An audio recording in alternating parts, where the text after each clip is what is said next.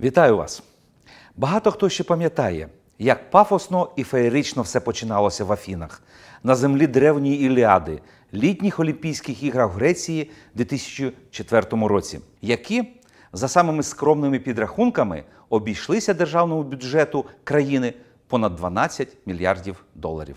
Вже тоді авторитетні експерти попереджали, що це початок краху для економіки маленької бідної країни. Саме ці колосальні витрати, не дивлячись на подальшу потужну підтримку міжнародних фінансових інституцій, лягли в основу грецької економічної кризи та привели країну до дефолту, до значного погіршення життя переважної більшості населення. Наступна також економічно нерозвинута країна третього світу Україна з ентузіазмом взялася за організацію проведення чемпіонату Європи по футболу. Організація цього заходу стала однією з найбільших корупційних афер під час керівництва державою Віктора Януковича і привела не тільки до значного збільшення боргу країни, а й до погіршення економічного стану в цілому. Згідно з офіційними програмами, проведення європейського чемпіонату по футболу обійшлося Україні в круглу копієчку аж 18 мільярдів доларів. Як ви розумієте, більшу частину цього бюджету було нахабно вкрадено, іншу напівлегальним шляхом розбазарена. При цьому виявилося, що загальні витрати України і в Польщі на Євро 2012 стали рекордними за всю історію проведення футбольних чемпіонатів. От звідки і беруться дуті цифри гігантського кошторису. Ще одна амбіційна країна слов'янського світу Росія взялася і провела в 2014 році Олімпіаду в Сочі, яка по самим скромним підрахункам обійшлася бюджету в 56 мільярдів доларів. В доповіді Бориса Німцова, присвяченій цій тематиці, йдеться про безпрецедентні витрати та розкрадання бюджетних коштів на одній шостій частині суші. А це близько 30 мільярдів. Звісна річ, що тягар відповідальності, як і в першому, другому та третьому випадках, лягає на загальнодержавні бюджети, на економіку країни, на простих громадян, які в підсумку за все це і розраховуються.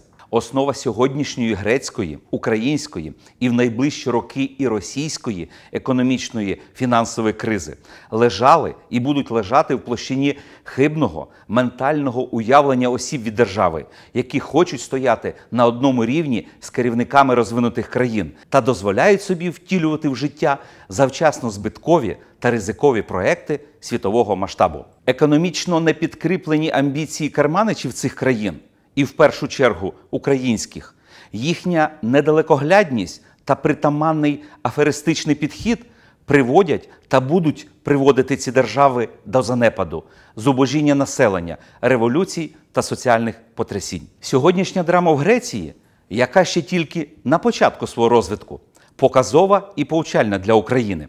Адже саме таким шляхом йшла і йде Україна останні 15 років, шляхом колосальних валютних запозичень задля їх розбазарювання вузьким колом, а не для вливання в економіку, шляхом системного та методичного ошукування свого народу, якому обіцяють ефективні реформи та списують на це гроші, а насправді тільки імітують їх, шляхом нечесної гри та загравання то з заходом, то зі сходом то потім знову зі Сходом, то Заходом. Українському вищому політикуму пора зрозуміти, що час обіцянок вже закінчився, що реальна уява про стан справ в державі відома не тільки урядам західних країн і міжнародним фінансовим інституціям, а й українському народу. Довге та радісне життя в борг ні людини, ні держави є неможливим. Нашому вже сьогоднішньому уряду пора припинити узаконене розкрадання коштів для своїх, обслуговування олігархів і сильних світу цього, а братися і робити справжні реформи, які спрямовані не тільки на жорстку економіку, а й на відкриття можливостей для людей працювати і заробляти, на залучення справжніх інвестицій і технологій, бо це реально і створення робочих місць, і додаткова вартість. В найближчі дні ми побачимо. Якщо ЄС та фінансові інституції по відношенню до кризової Греції будуть діяти рішуче і категорично, то це означатиме для нас: ми на черзі відмовах у позиках, ми наступні в оголошенні дефолту. і наслідки для українського населення будуть набагато гірші, ніж у сьогоднішніх нащадків Одіссея і Гомера.